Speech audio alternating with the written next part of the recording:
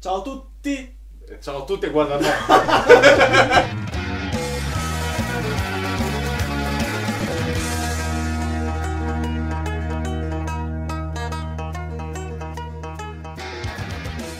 Intanto partiamo ringraziando tutti gli amici che ci hanno lasciato un feedback positivo.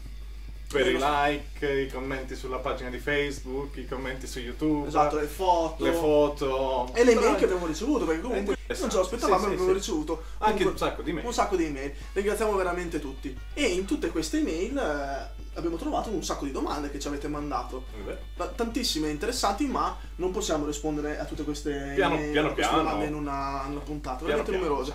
Qual è la domanda che hai visto che comunque è comparso più volte tra le nostre email? Secondo me è quella riguardante ehm, quali sono i periodi migliori per andare nei parchi divertimento.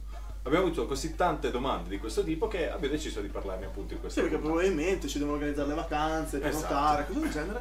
Non manca poi così tanto all'inizio dell'apertura. No, qualche mese, Qualche tre mese. mesi e, Qualche mese. vo- e vola anche perché E c'è vola. anche più corto Sì, in esatto, mezzo. esatto. Partiamo dalle regole basse, diciamo. Ok.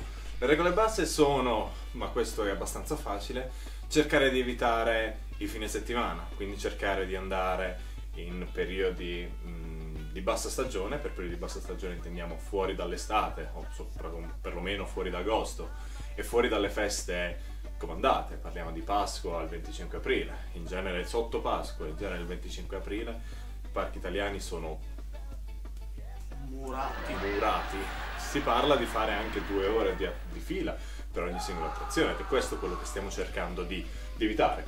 Sicuramente la visita quindi va programmata in mezzo alla settimana e possibilmente nel periodo intorno a maggio-giugno, diciamo.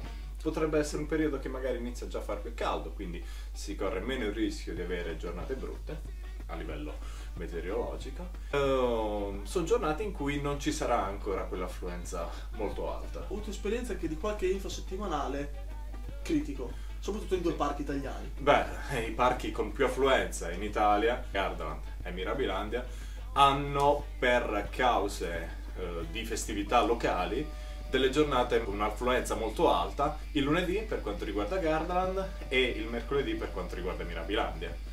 È ovvio che per ogni altro parco in Italia, in Europa, nel mondo, prima di pianificare una visita bisogna anche magari dare un occhio alle festività locali, se ci sono dei patroni, se ci sono dei ponti, se ci sono dei santi, insomma, questo tipo di, di- di cose qui.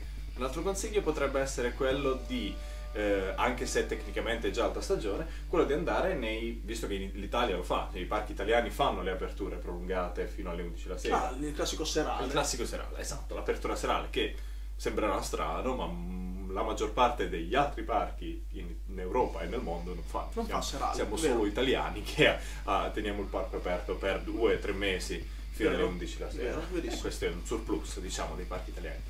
Anche se magari quello è già alta stagione, che quindi sarebbe conveniente, diciamo, evitare, quelle ore in più, che sono 5-6 ore in più allo stesso prezzo, ricordiamo, del biglietto, eh, garantiscono la possibilità di fare numerosi altri giri sulle attrazioni, anche se magari l'affluenza era alta.